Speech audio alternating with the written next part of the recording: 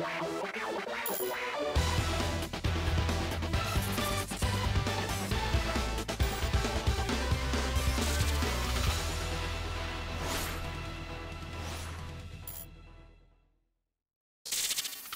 everyone, how are you doing? This is MD Tech here with another quick tutorial. Today I'm going to show you guys how to resolve if you're getting an issue saying that the file is open in another program.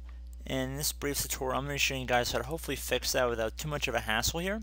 So we're going to just jump into it and we're going to start by assuming that you're either running Windows 7, Windows 8, or Windows 10. Uh, keep in mind for Windows 10, if you're running Windows 10 Home Edition, this tutorial is not going to work for you. I'm just going to put that out there. But if you're running Windows 10 Professional, it will. Windows 7 and Windows 8 users do not have this problem.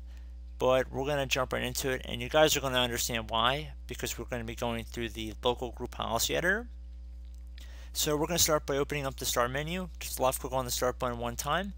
And you want to open up local group policy. And the best match that comes up should say edit group policy right above control panel. So you want to left click on that one time to open it up.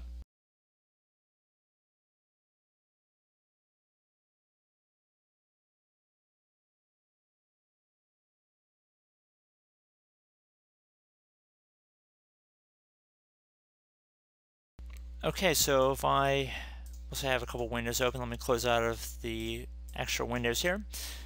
So I'm going to expand the view a little bit on the side. And then I'm going to left click on the administrative templates folder right here. And I'm going to double click on Windows components on the right side here.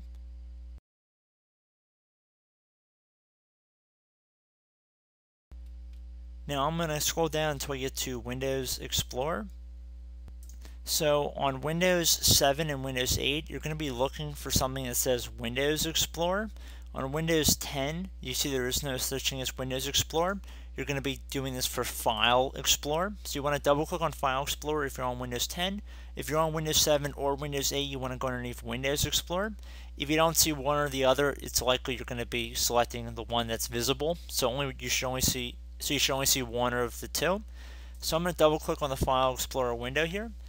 And now I'm going to scroll down until I get to turn off caching of thumbnails in hidden thumbnails. And I'm going to double click on it or click on next to where it says edit, click on policy setting, whichever you prefer.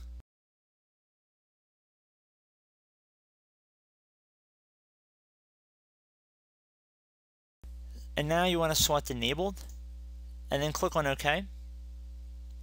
So at this point you should be able to close out of the local group policy editor and resume what you were doing beforehand. So I hope this brief tutorial was able to help you guys out, and as always, thank you for watching, and I will catch you in the next tutorial. Goodbye.